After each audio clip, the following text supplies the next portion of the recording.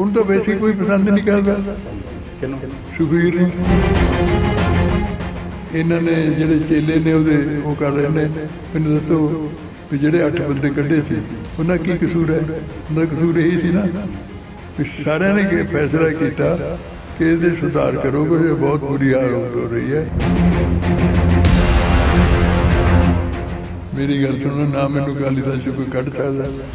ਮੈਂ ਅਕਾਲੀ ਹਾਂ, ਅਕਾਲੀ ਰਹਾਂਗਾ, ਅਕਾਲੀ ਹਮੇਸ਼ਾ ਜ਼ਿੰਦਗੀ 'ਚ ਰਿਹਾ ਸਾਰਾ ਪਰਿਵਾਰ ਅਕਾਲੀ ਰਿਹਾ। ਸਾਡਾ ਪਰਿਵਾਰ ਵੀ ਅਕਾਲੀਆਂ ਦਾ ਪਰਿਵਾਰ ਵੱਜਦਾ ਹੈ। ਉਹ ਤਾਂ ਇਹ ਵੀ ਕਹਿ ਰਹੇ, ਕਹਿੰਦੇ ਕਿ ਜਿਹੜਾ ਆਪਰੇਸ਼ਨ ਨਾਗਪੁਰ ਆ, ਦੋ ਹਿੱਸਿਆਂ 'ਚ ਚੱਲ ਹੈ। ਇੱਕ ਅੰਮ੍ਰਿਤਪਾਲ, ਜਿਹੜਾ ਉਸ ਦੀ ਇਲੈਕਸ਼ਨ ਲੜਵਾਣੀ ਆਰਐਸਐਸ ਹੈ। ਦੂਜਾ ਆਪਰੇਸ਼ਨ ਨਾਗਪੁਰ ਦਾ ਹਿੱਸਾ ਬਾਗੀ ਦਲ ਮੈਨੂੰ ਦੱਸੋ। ਵੀ ਜਿਹਨੂੰ ਲੋਕਾਂ ਨੇ ਐਡਾ ਵੱਡਾ ਫਤਵਾ ਦਿੱਤਾ ਜਿਹਨੂੰ ਪੰਜਾਬ ਤੋਂ ਐਡੀ ਵੱਡੀ ਦੂਰ ਰੱਖਿਆ ਹੋਇਆ ਹੈ, ਉਹਨੂੰ ਇਹ ਨਾਗਪੁਰ ਨਾਲ ਜੋੜ ਰਹੇ ਨੇ। ਨਾ ਸਾਹਿਬ ਸਰਪ੍ਰਸਤ ਸੀਗੇ ਤੁਸੀਂ ਪਾਰਟੀ ਦੇ ਔਰ ਤੁਹਾਨੂੰ ਇਹ ਕੱਲ ਜਦੋਂ ਪ੍ਰੈਸ ਕਾਨਫਰੰਸ ਤੁਸੀਂ ਸੁਣੀ ਹੋਣੀ ਹੈ ਕਹਿੰਦੇ ਸਰਪ੍ਰਸਤ ਸੋਨੂੰ ਬਣਾਇਆ ਜਾਂਦਾ ਹੈ ਜਿਹੜਾ ਕਾਬਲ ਕਿਸੇ ਇਲੈਕਸ਼ਨ ਲੜਨ ਦਾ ਨਾ ਹੋਵੇ ਉਹਨੂੰ ਐਡਜਸਟ ਕਰ ਦਿੱਤਾ ਜਾਂਦਾ ਹੈ ਇਸ ਤਰੀਕੇ ਦੀਆਂ ਗੱਲਾਂ ਕਹਿੰਦੇ ਹੋਏ ਨਜ਼ਰ ਆਏ। ਇਹ ਹੁਣ ਤਾਂ ਉਹ ਪਸੇ ਹੋਏ ਨੂੰ ਹੋਰ ਕੀ ਕਰਨ? ਕਿਉਂਕਿ ਜੋ ਕੁਝ ਕਲੀਅਰ ਨੇ ਦੱਸਤਾ ਦੁਨੀਆ ਨੂੰ ਸਾਹਮਣੇ ਤੇ ਇੰਨੇ ਘਬਰਾਹਟ ਹੋ ਗਏ ਤੇ ਹੋਰ ਹਰੇਕ ਨੂੰ ਕੱਢੀ ਜਾ ਰਹੇ ਨੇ। ਉਹਨੂੰ ਤਾਂ ਵੈਸੇ ਕੋਈ ਪਸੰਦ ਨਹੀਂ ਕਰਦਾ। ਕਿਨੂੰ ਸੁਖਵੀਰ ਨੂੰ। ਹੁਣ ਉਹਨੂੰ ਉਹਨੂੰ ਉਹਨੂੰ ਬਚਾਉਣ ਲਈ ਇਹਨਾਂ ਨੇ ਜਿਹੜੇ ਚੇਲੇ ਨੇ ਉਹਦੇ ਉਹ ਕਰ ਰਹੇ ਨੇ। ਮੈਨੂੰ ਦੱਸੋ ਵੀ ਜਿਹੜੇ ਅੱਠ ਬੰਦੇ ਕੱਢੇ ਸੀ ਉਹਨਾਂ ਕੀ ਕਸੂਰ ਹੈ? ਉਹਨਾਂ ਦਾ ਕਸੂਰ ਇਹੀ ਸੀ ਨਾ ਵੀ ਸਾਰਿਆਂ ਨੇ ਕੀ ਫੈਸਲਾ ਕੀਤਾ ਕਿ ਇਹਦੇ ਸੁਧਾਰ ਕਰੋਗੇ ਇਹ ਬਹੁਤ ਬੁਰੀ ਹਾਲਤ ਹੋ ਰਹੀ ਹੈ। ਸੱਤ ਜਵਾਨਤਾ ਦਸ ਜਵਾਨਤਾ ਜ਼ਬਤ ਹੋ ਗਈਆਂ। ਇਸ ਕਰਕੇ ਆਪਾਂ ਇਹਨੂੰ ਸੁਧਾਰ ਲਈਏ ਪਾਰਟੀ। ਸੁਧਾਰ ਲਿਆਉਣਾ ਗੁਨਾਹ ਹੈ। ਉਹਨਾਂ ਨੂੰ ਕੱਢਤਾ ਅੱਠ, ਔਰ ਚੁਣ ਕੇ ਕੱਢਿਆ। ਇਹ ਨਹੀਂ ਹੈ ਸੁਧਾਰ ਲਿਆਉਣ ਲਈ ਕਿ ਇਕੱਲੇ ਇਹ ਅੱਠ ਬੰਦੇ ਨੇ।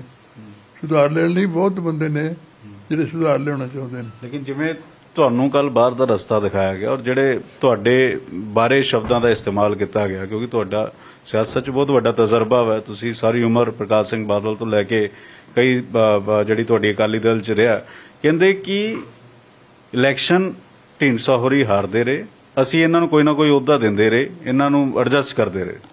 ਇਹ ਕਹੋ ਇਹ ਕੌਣ ਹੁੰਦੇ ਨੇ ਐਡਜਸਟ ਕਰਨ ਵਾਲੇ? ਇਹਨੇ ਕੋਈ ਕੁਰਬਾਨੀ ਕੀਤੀ ਹੈ।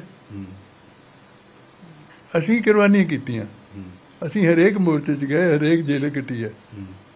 ਤੇ ਇਹਨੇ ਇਹ ਕੌਣ ਨੇ? ਮੈਂ ਕੋਈ ਕਿਸੇ ਤੋਂ ਖਰਾਤ ਮੰਗੀ ਹੈ। ਨੰਬਰ 2 ਮੈਂ ਸੁਖਵੀਰ ਨਹੀਂ ਹਾਰਿਆ ਦੋ ਤਿੰਨ ਦੋ ਵਾਰੀ ਹਾਰ ਗਿਆ। ਮੈਂ ਦੋ ਤਿੰਨ ਵਾਰੀ ਹਾਰਿਆ। ਲੇਕਿਨ ਮੈਂ ਜਿੱਤਿਆ ਬਹੁਤ ਵਾਰੀਆਂ ਮੈਂ ਚਾਰ ਵਾਰੀ ਲਗਾਤਾਰ ਐਮਐਲਏ ਬਣਿਆ ਇੱਕ ਵਾਰੀ ਵੀ ਹਰਿਆ ਨਹੀਂ ਜਾ ਕੇ 97 ਚ ਹਰਿਆ। ਔਰ ਉਹ ਉਸ ਤੋਂ ਬਾਅਦ ਮੈਨੂੰ ਠੀਕ ਹੈ ਬਾਲ ਸਾਹਿਬ ਨਾਲ ਮੇਰਾ ਬਹੁਤ ਨਜ਼ਦੀਕੀ ਸੀ। ਮੈਨੂੰ ਉਹਨਾਂ ਨੇ ਚੇਅਰਮੈਨ ਲਾਤਾ। ਤੇ ਉਸ ਤੋਂ ਬਾਅਦ ਮੈਨੂੰ ਰਾਜ ਸਭਾ 'ਚ ਭੇਜਤਾ। 19 2000 ਅਹ 2000 ਦੀ ਇਲੈਕਸ਼ਨ ਲੜੀ, ਮੈਂ ਜਿੱਤਿਆ। ਲੋਕ ਸਭਾ ਜਿੱਤਿਆ। ਫਿਰ ਮੈਂ ਦੋ ਦਵਾਰ ਦੋ ਦਵਾਰ ਲੋਕ ਸਭਾ ਵੀ ਹਰਿਆ। ਤੇ ਤਿੰਨ ਮੇਰੇ ਤਿੰਨ ਇਲੈਕਸ਼ਨ ਹਾਰਿਆ ਇਹਨੇ 50 55 ਸਾਲ ਦੇ ਮੇਰੇ ਪੋਲੀਟੀਕਲ ਲਾਈਫ 'ਚ। ਤੇ ਇਹ ਤਾਂ ਥੋੜੀ ਜਿਹੀ ਲਾਈਫ 'ਚ ਇਹਨਾਂ 'ਚ ਕਿਹੜਾ ਕਿੰਨੇ ਕੁ ਜਿੱਤੇ ਨੇ ਜੀ? ਮੈਨੂੰ ਦੱਸਦੇ ਨੇ ਕਿੰਨੇ ਕੁ ਜਿੱਤੇ ਨੇ। ਕਿਉਂਕਿ ਸਰਪ੍ਰਸਤ ਪਾਰਟੀ ਸਭ ਤੋਂ ਉੱਪਰ ਹੁੰਦਾ ਹੈ ਔਰ ਸਰਪ੍ਰਸਤ ਬਾਰੇ ਸ਼ਬਦਾਂ ਦਾ ਇਸਤੇਮਾਲ ਕਰਨਾ ਔਰ ਹੁਣ ਤੁਸੀਂ ਅੱਗੇ ਕੀ ਕਰੋਗੇ? ਉਹ ਕਹਿ ਰਹੇ ਅਸੀਂ ਅਕਾਲੀ ਦਲ ਤੋਂ ਕੱਢ ਦਿੱਤਾ। ਮੇਰੀ ਗੱਲ ਸੁਣੋ ਨਾ ਮੈਨੂੰ ਅਕਾਲੀ ਦਲ ਚੋਂ ਕੋਈ ਕੱਢ ਸਕਦਾ। ਮੈਂ ਅਕਾਲੀ ਹਾਂ ਅਕਾਲੀ ਰਹਾਂਗਾ ਅਕਾਲੀ ਹਮੇਸ਼ਾ ਜ਼ਿੰਦਗੀ ਰਿਹਾ। ਸਾਰਾ ਪਰਿਵਾਰ ਅਕਾਲੀ ਰਿਹਾ। ਸਾਡਾ ਪਰਿਵਾਰ ਵੀ ਅਕਾਲੀਆਂ ਦਾ ਪਰਿਵਾਰ ਵੱਜਦਾ ਪਿੰਡ 'ਚ ਵੀ ਵੱਜਦੇ ਆ। ਇਸ ਕਰਕੇ ਕੌਣ ਹੁੰਦੇ ਨੇ ਕਰਨ ਵਾਲੇ ਸਾਨੂੰ? ਹੁਣ ਤੁਸੀਂ ਕਹਿ ਰਹੇ ਅਸੀਂ- ਪਾਰਟੀ ਇਲੈਕਸ਼ਨ ਨਹੀਂ ਹੋਈ। ਇਹ ਤਾਂ ਵੈਸੇ ਵੀ ਫਿੱਟੀ ਨੇ ਕਿਉਂਕਿ ਇਲੈਕਸ਼ਨ ਤੋਂ ਟਾਈਮ ਬਹੁਤ ਅੱਗੇ ਉੱਪਰ ਲੰਘ ਗਿਆ। ਅਸੀਂ ਨਵੀਂ ਇਲੈਕਸ਼ਨ ਕਰਾ ਰਹੇ ਹਾਂ। ਡੈਲੀਗੇਟ ਇਜਲਾਸ ਸੱਦ ਰਹੇ ਹਾਂ। ਤੇ ਇਸ ਕਰਕੇ ਹੈ ਕਿ ਕੋਈ ਸੁਧਾਰ ਲਿਆਉਣਾ ਕੋਈ ਗੁਨਾਹ ਨਹੀਂ ਹੁੰਦਾ। ਤੁਸੀਂ ਕਹਿ ਰਹੇ ਹੋ ਨਵੀਂ ਇਲੈਕਸ਼ਨ ਨਵੀਂ ਇਲੈਕਸ਼ਨ ਪ੍ਰਧਾਨਗੀ ਨੂੰ ਲੈ ਕੇ ਜਾਂ ਉਹ ਉਹ ਡੈਲੀਗੇਟ ਦਾ ਜ਼ਿਕਰ ਕਰਦੇ ਕੱਲ ਕਹਿੰਦੇ 98% ਡੈਲੀਗੇਟ ਸਾਡੇ ਕੋਲ ਨੇ। ਕੋਈ ਉਹ ਉਹਨਾਂ ਕੋਲ ਹੋਣਗੇ ਫਿਰ ਆਪੀ ਡੈਲੀਗੇਟ ਨਹੀਂ ਚੁਣਨਾ। ਅਸੀਂ ਤਾਂ ਨਹੀਂ ਚੁਣਨਾ ਅਸੀਂ ਡੈਲੀਗੇਟ ਨਹੀਂ ਚੁਣਨਾ। ਜੇ ਉਹਨਾਂ ਕੋਲ 95% ਹੈਗੇ ਤਾਂ ਫਿਰ ਠੀਕ ਹੈ ਉਹ ਜਿੱਤੇ ਜਿੱਤੇ ਪਏ ਨੇ।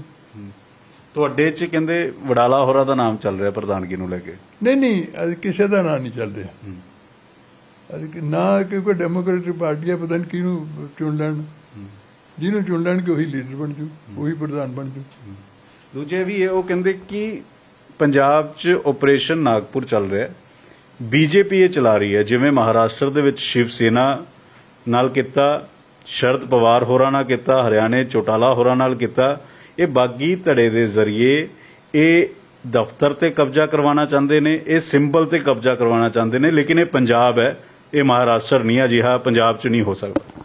ਨਾ ਤਾਂ ਸਾਡੀ ਬੀਜੇਪੀ ਨਾਲ ਇਹ ਪਾਵਰ ਤਾਂ ਇਹ ਭੋਗਦੇ ਰਹੇ। ਕਹਿੰਦੇ ਸਾਨੂੰ ਨੇ, ਨਾ ਅੱਜ ਤੱਕ ਅਸੀਂ ਨਾਗਪੁਰ ਦੇਖਿਆ, ਨਾ ਆਰਐਸਐਸ ਦੇ ਨਾਲ ਸਾਡੀ ਕੋਈ ਸੰਬੰਧ ਹੈ। ਔਰ ਬੀਜੇਪੀ ਨਾਲ ਵੀ ਇਹ ਇਹ ਆਪ ਹੀ ਲੈਂਦੇ ਰਹੇ ਸਾਰਾ ਕੁਝ। ਬੀਜੇਪੀ ਹਰਸਿਮਰਤ ਮਿਨਿਸਟਰ ਨਹੀਂ ਸੀ। ਜਦੋਂ ਪਾਸ ਕੀਤੇ ਦੋਨੋਂ ਐਕਟ, ਉਦੋਂ ਕਿੱਥੇ ਸੀ ਇਹ?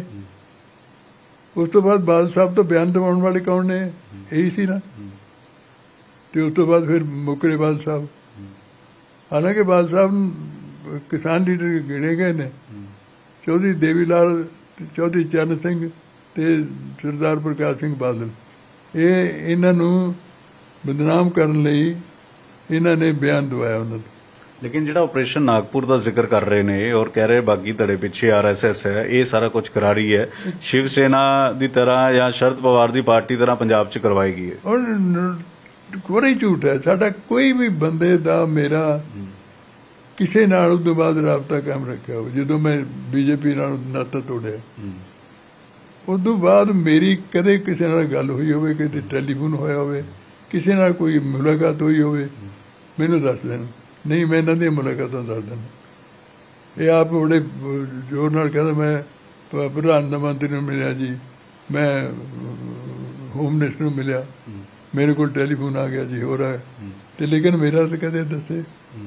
ਉਹ ਤਾਂ ਇਹ ਵੀ ਕਹਿ ਰਹੇ ਕਹਿੰਦੇ ਕਿ ਜਿਹੜਾ ਆਪਰੇਸ਼ਨ ਨਾਗਪੁਰ ਆ ਦੋ ਹਿੱਸਿਆਂ ਚੱਲ ਰਿਹਾ। ਇੱਕ ਅੰਮ੍ਰਿਤਪਾਲ ਜਿਹੜਾ ਹੈ, ਉਸ ਦੀ ਇਲੈਕਸ਼ਨ ਲੜਵਾਣੀ ਆਰਐਸਐਸ ਹੈ। ਦੂਜਾ ਆਪਰੇਸ਼ਨ ਨਾਗਪੁਰ ਦਾ ਹਿੱਸਾ ਬਾਗੀ ਧੜਾ ਵਾ। ਮੈਨੂੰ ਦੱਸੋ ਵੀ ਜਿਹਨੂੰ ਲੋਕਾਂ ਨੇ ਐਡਾ ਵੱਡਾ ਫਤਵਾ ਦਿੱਤਾ ਜਿਹਨੂੰ ਪੰਜਾਬ ਤੋਂ ਐਡੀ ਵੱਡੀ ਦੂਰ ਰੱਖਿਆ ਹੋਇਆ ਹੈ, ਉਹਨੂੰ ਇਹ ਨਾਗਪੁਰ ਨਾਲ ਜੋੜ ਰਹੇ ਨੇ। ਸ਼ਰਮ ਆਉਣੀ ਚਾਹੀਦੀ ਹੈ ਇਹਨਾਂ ਨੂੰ। ਕਿ ਉਹ ਉਹਨੂੰ ਬੰਦੇ ਨੂੰ ਜਿਹਨੂੰ ਇਹ ਠੀਕ ਹੈ, ਉਦੋਂ ਸਾਰਿਆਂ ਨੇ ਕਿਹਾ ਵੀ ਤੁਸੀਂ ਵਾਪਸ ਉਹਦੇ ਨਾਲ ਖਿਲਾਫ ਨਾ ਲੜੋ। ਪਰ ਨਹੀਂ ਇਹਨਾਂ ਲੜੇ। ਤੇ ਅੱਜ ਫਿਰ ਉਹਨੂੰ ਬਦਨਾਮ ਕਰ ਰਹੇ ਨੇ। ਆਪਰੇਸ਼ਨ ਨਾਗਪੁਰ ਇਸ ਕਰਕੇ ਵੀ ਕਹਿ ਰਹੇ, ਕਹਿੰਦੇ ਜਦੋਂ ਤੱਕ ਸਾਡੀ ਗੱਲਬਾਤ ਅਲਾਈਅੰਸ ਦੀ ਚੱਲ ਰਹੀ ਸੀ, ਉਦੋਂ ਤੱਕ ਅੰਮ੍ਰਿਤਪਾਲ ਨੇ ਇਲੈਕਸ਼ਨ ਲੜਨ ਦੀ ਗੱਲ ਨਹੀਂ ਕੀਤੀ।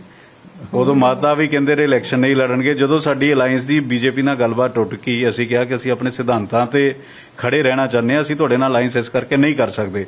ਉਸ ਤੋਂ ਬਾਅਦ ਬਾਕੀ ਧੜਾ ਵੀ ਖੜਾ ਹੋ ਗਿਆ ਆਪਰੇਸ਼ਨ ਨਾਗਪੁਰ ਜਿਹੜਾ ਅਸੀਂ- ਤਾਂ ਮੈਂ ਤਾਂ ਸਪੋਰਟ ਕੀਤੀ ਸੀ ਸੁਖਵੀਰ ਨੂੰ ਪਤਾ ਨਹੀਂ ਕਿ ਮੈਂ ਸਪੋਰਟ ਕੀਤੀ ਸੀ ਵੀ ਤੁਹਾਨੂੰ ਬੀਜੇਪੀ ਨਾਲ ਨਹੀਂ ਰੱਖਣਾ ਚਾਹੀਦਾ। ਹੂੰ।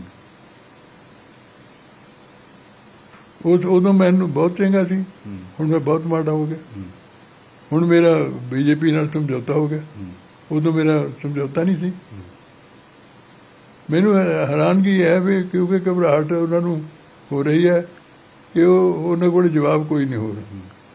ਜੋ ਕੁਝ ਉਹਨੇ ਕਹਿਤਾ ਕਲੀਅਰ ਨੇ ਉਸ ਤੋਂ ਬਾਅਦ ਉਹਨਾਂ ਕੋਲ ਜਵਾਬ ਕੋਈ ਨਹੀਂ। ਉਹ ਕਹਿੰਦੇ ਪ੍ਰਦੀਪ ਕਲੇਰ ਦਾ ਜਦੋਂ ਜ਼ਿਕਰ ਹੁੰਦਾ ਉਹ ਕਹਿੰਦੇ ਰਾਮ ਰਹੀਮ ਕੋਲ ਤਾਂ ਢੀਂਡਸਾ ਹੋਰੀ ਵੀ ਗਏ ਚੰਦੂ ਮਾਜਰਾ ਹੋਰੀ ਵੀ ਗਏ ਵੋਟਾਂ ਮੰਗਣ ਓਪਨਲੀ ਵੋਟਾਂ ਮੰਗੀਆਂ ਵੀ ਗਈਆਂ ਉਸ ਵੇਲੇ।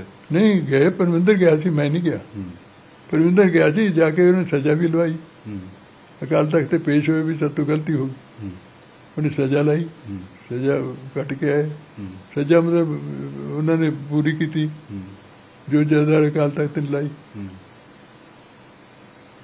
ਦੁੱਖ ਹੁੰਦਾ ਇਸ ਉਮਰ ਦੇ ਵਿੱਚ ਜਦੋਂ ਸਰਪ੍ਰਸਤ ਸਭ ਤੋਂ ਵੱਡਾ ਅਹੁਦਾ ਹੁੰਦਾ ਹੈ ਸੁਖਬੀਰ ਬਾਦਲ ਹੋਰੀ ਪੈਰੀ ਹੱਥ ਵੀ ਲਗਾਉਂਦੇ ਸੀਗੇ ਔਰ ਇੱਕਦਮ ਪ੍ਰਕਾਸ਼ ਸਿੰਘ ਬਾਦਲ ਹੋਰਾਂ ਨਾਲ ਤੁਹਾਡਾ ਤਾਂ ਇੱਕ ਕਹਿੰਦੇ ਜੈ ਵੀਰੂ ਦੀ ਦੋਸਤੀ ਦੀ ਤਰ੍ਹਾਂ ਰਹੀ ਹੈ ਸਾਰੀ ਉਮਰ। ਉਹਨਾਂ ਦੇ ਜਾਣ ਤੋਂ ਬਾਅਦ ਉਹਨਾਂ ਦੇ ਬੇਟੇ ਔਰ ਉਹਨਾਂ ਦੇ ਨਾਲ ਇਸ ਤਰੀਕੇ ਨਾਲ ਜਦੋਂ ਵਤਰੇਵਾ ਹੁੰਦਾ ਹੈ ਔਰ ਤੁਹਾਨੂੰ ਕਹਿ ਦਿੰਦੇ ਕਿ ਸਰਪ੍ਰਸਤ ਆ ਉਹ ਨੇ ਜਿਹੜੇ ਇਸਤੇਮਾਲ ਕਰਨ ਲਾਇਕ ਨਹੀਂ ਹੁੰਦੇ। ਦੁੱਖ ਹੁੰਦਾ ਹੈ ਇਸ ਚੀਜ਼ਾਂ ਦਾ ਦੁੱਖ ਤਾਂ ਦੇਖੋ ਜਿਹਨੇ ਗਲਬ ਹੋਵੇ ਅੱਜ ਕਿਉਂ ਅੱਜ ਕਿਉਂ ਹੋਇਆ? ਕਿਉਂਕਿ ਮੈਂ ਉਹਨਾਂ ਦੀ ਜਿਹੜੀ ਕੱਢੇ ਸੀ ਉਹਨਾਂ ਨੂੰ ਵਾਪਸ ਲੈ ਲਿਆ ਸੀ। ਮੇਰਾ ਕਸੂਰ ਇਹੀ ਸੀ ਨਾ, ਅੱਜ ਕਿਉਂ ਮਾੜਾ ਹੋ ਗਿਆ ਮੈਂ? ਉਦੋਂ ਬਾਅਦ ਮਾੜਾ ਕਿਉਂ ਹੋਇਆ ਮੈਂ? ਉਦੋਂ ਪਹਿਲਾਂ ਚੰਗਾ ਸੀ ਮੈਨੂੰ, ਜਦੋਂ ਸਰਪ੍ਰਸਤ ਬਣਾਇਆ ਉਦੋਂ ਚੰਗਾ ਸੀ ਮੈਂ। ਇਸ ਕਰਕੇ ਇਹ ਗੱਲਾਂ ਚੱਲਦੀਆਂ ਰਹਿੰਦੀਆਂ, ਕੋਈ ਗੱਲ ਨਹੀਂ।